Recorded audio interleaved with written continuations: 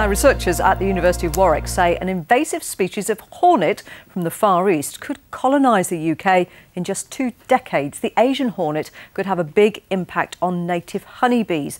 They wait outside beehives, catch and eat honeybees as they return home. Our science correspondent David Gregory Kumar is here with more. David, clearly not a great time to be a honeybee.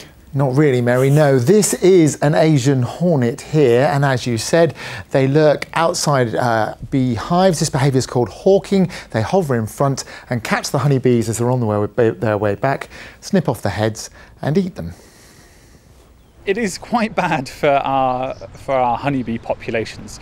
The European honeybee has no natural defensive strategy against Asian hornets. Um, they're unlikely to be wiped out completely, uh, but it adds to a growing number of threats to honeybees and pollinators, um, along with other pests, disease, um, and things like pesticides.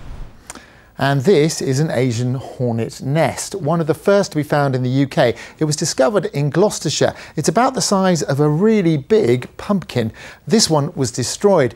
Dr. Franklin is part of a team at the University of Warwick and they've used a computer to model how Asian hornets might spread, starting in Gloucestershire and then moving out until eventually, in around 20 years, according to the model, they'll have colonised the entire UK. But we can help prevent this.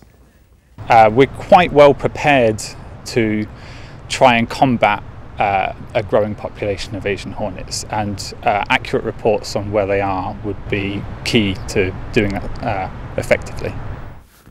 Well, to help with that reporting, you can use a smartphone app. You can even build traps for the Asian hornet, as demonstrated here in a government video, especially useful for beekeepers. And importantly, the Asian hornet isn't dangerous to humans. Its sting is similar to a wasp, but it is very dangerous to our honeybees. And on the blog, there's a link to all this information if you want to help repel the invaders at bbc.co.uk slash David Gregory Kumar. Mary. Thanks for that, David. I will take a look. Yeah, not great news for bees, is it? Thank you.